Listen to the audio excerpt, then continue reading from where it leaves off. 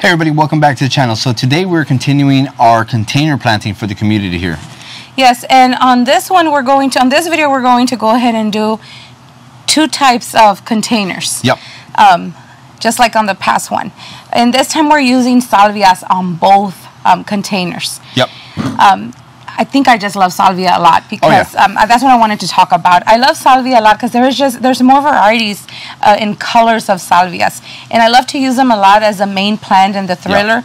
And honestly, you can just put one in the container, and you you can just be done with that. Yeah, they grow quite quite big. And this variety that Proven Winners has too, that it, it's one of the ones that actually got me really excited Yes. back to um, bring salvias into our garden because the flowers are just so much bigger. They have a lot more color, and the foliage is just so much prettier. Yeah, definitely beautiful foliage. I know one of the salvias we ever tried. Uh, I can't remember what the name was. It was an older variety, but it attracted a lot of mealybugs. You remember that? Yes, yes, it, it was another variety. I can't remember either, but they were really straggly, and Yeah. it, it really didn't give a show, and it didn't continue to give flower through the whole season. And these guys are they just they're they're like monsters out in the Yeah. garden.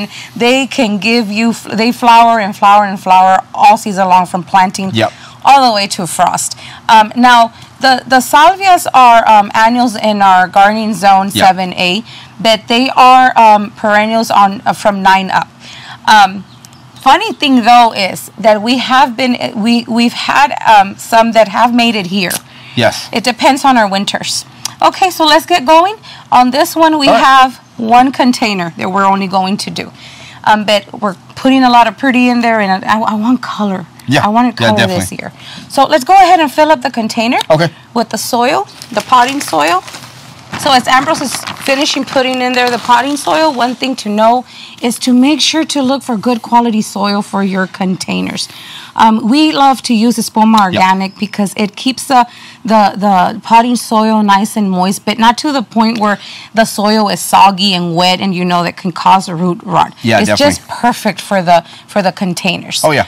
So now we can go ahead and continue to um, fertilize. Yep. So the next thing we're going to use is a continuous slow release fertilizer that feeds your plants over about a six month time frame. So it's a good fertilizer. It breaks down with heat and humidity, like I said, for over six months. So we're going to do four tablespoons in here because of the size of the container, and you can get at you can get all that information on the back of the uh, container there as well. We mix it in. Yep. You want to go ahead and do the first plant? Yep. So the first plant, like Angie said, is the salvia. This one is called Rockin' Fuchsia. Uh, love the color on this one. So on this one, we were going back and forth. Should we put it in the center, which you really could? Then we're going to go ahead and put it in the back because this this container is going to be um, put right by a, a, a what is it called uh, a wall Yes. in the front of the home. So I think it will be better to have it like that and just let all the plants be seen in the front. Yeah, I know it's spread out quite a bit. Um, I believe this one gets 24 to 36 inches tall. And you can spread a good, actually 24 inches or 18 inches. That so is it's, a it's a good size. Very pretty color. Yep. Okay, and then we're using Superbena Red. Yes. we Super saw Beater that Red. one on the last on the on the first containers that we that Yeah. we started doing um, um, for this season too. We used them. uh, We used that Superbena Red. We did, which yeah. is very pretty too. Very um, vibrant colors. Okay, and I'm gonna go ahead and start with um, Laguna Sky Blue. And this one does look like it has the roots a little bit there. Yeah, so this Laguna Sky Blue is Tight, a, so. it's a lobelia that grows about 8 to 10 inches tall. And it's a mounding plant, and it, it'll bloom all the way to frost. This is a this Oh, that's pretty. this lobelia here, like most lobelias, um, doesn't fizzle out when it gets really really hot. This is supposed to do extremely well in the heat, and unless the temperatures are above 75 to 80 degrees at night, then it should flower for you all the way till frost. So very excited to use this one because it's a very dainty blue flower that we don't normally use, but I think it's going to mix really really well with everything we have in here. And then a favorite of mine in the garden is Diamond Frost. I just love Diamond Frost euphorbia in the home. And I could have ended it with the three plants. It would have been perfect, just three, but I want to add that little bit of white in a smaller flower. Oh yeah, definitely. Kind of give a, a patriotic kind of feel, Yeah, but yeah. not with the the actual. Well, it kind of is. You have your red, you have your blue. We are going to have the red, white, and blue, and then that fuchsia here. So it's still going to be a patriotic color, color. which is something we kind of we don't purposely intend to do it, I think, but it kind of ends up that way being. uh, I, I like to do it. I Yeah. do like to do it. I, I try to act, uh, um, um, add in a little bit of the patriotic color, Yeah. colors here on, on what do you call it for our base. Um, the families living here on the military base. All right, so it Just looks beautiful for summertime. oh, too. definitely. So that's it for our first That's container. it. Uh, absolutely love the way it looks. What do you Look think? Look at that! I love it. I think it's gonna have enough room for this. This one right here, the the the salvia to grow Yeah. really pretty. The rockin' what is it? Fuchsia. Fuchsia, fuchsia, It's rockin' fuchsia. You get that name? Yep, rockin' fuchsia Love salvia. Okay, it's gonna be really fun watching this one grow. Yep. So let's move on to the next containers. We actually have two containers that we're going to do uh, for the next family.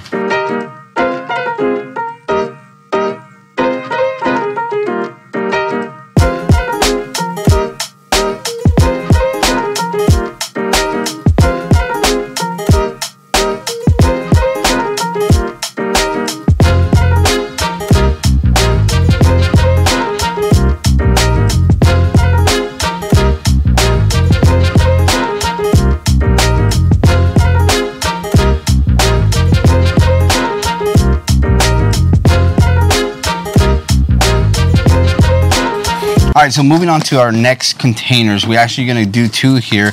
And I just put the soil in there. One thing I did want to mention about putting soil in your containers is to leave maybe an inch to an inch and a half of lip room here around the container because when you start to put your soil in, sometimes you're to get it to sink really, really low once it gets wet, or sometimes it may overflow depending on how much water you're watering, especially with small, some smaller containers.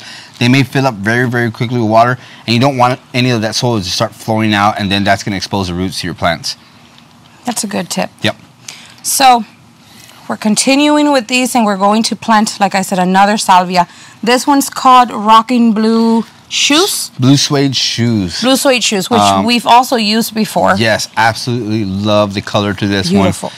It's got a really, you, it's not really blooming yet, um, but it's got a really dark purple. And then the actual flower that comes out of these, I, I don't even know what to call them. I, I looked It's, that up it's later. really, really, but the flower that comes really out blue. is like a beautiful blue color. Yes. So, why, why, you know, why do we love using once again the salvia in the garden? It calls a lot of the pollinators over. Ooh, Yes. these need to be tickled. These roots need to be tickled bad. Yeah. Usually we don't do this with plants, you know, that we're um, just planting, but these for some reason do need it. Um, but like I was saying about the salvias, the good thing is, you know, that they're always blooming, continuously blooming these the, these varieties, and it invites a lot of the pollinators. One pollinator you're going to see a lot that loves it is the hummingbirds. Yes. But it also invites the butterflies and the bees, and and you know you'll see you know all types of of um, pollinators coming over your way. And then when the, the nice thing we were saying about the flower, once the flower is done blooming, Yeah. it actually still looks pretty Yep. You know the stem which with with the flower that you know it's done it still looks pretty Yeah. um afterwards so and they deadhead on yeah, their own definitely. too I, I love the foliage on this salvia as well. It's a very nice dark green foliage. It is. Just like the other one we used, um, the foliage looks absolutely beautiful once these flowers are gone. But once it starts to flower, you're just going to get nothing but endless flowers all the way till frost. So it's going to be one of those plants I wish that- they were flowering right now, and we're gonna Yeah. wait, but we're just gonna go ahead and do it so we can get going, you know, and they'll start flowering pretty soon.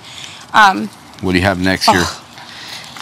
and you know, one that just takes me back home. Yeah. Lantana, and this one is called um, um, Luscious um, Citrus. Yeah, so this one is Luscious Citrus Blend. Uh, So pretty. Beautiful lantana. I absolutely just love lantana. I forgot that it has a scent, and I could smell Yeah. something right now, and it's it's the lantana. Yeah, it's got, got a very light scent. Uh, the reason we love lantana, I know Angie loves it too, is because this is one of those plants that back home in San Antonio, it's a native, specifically the very bright yellow one. Yeah, it's a perennial. Uh, that just you see it everywhere. It's a weed. Um, I, I remember this growing up. uh, We have, you know, back in the day, we had the old chain link fences to our homes. Yes. Which surrounded our yard. That's what we had when we were growing up. And these would absolutely crawl up that chain link fence and absolutely cover it all. So I think to this day, my mom's front Yes, yard they still still have it has in the front. a lantana as yellow as can be, just crawling up that fence there. So it's and a yours is plant. blooming more, so Yeah. that is so pretty. It has like a dark orange, and then it, Yes. it, it comes into a light one. And we've used so many types in our gar- um, in our garden.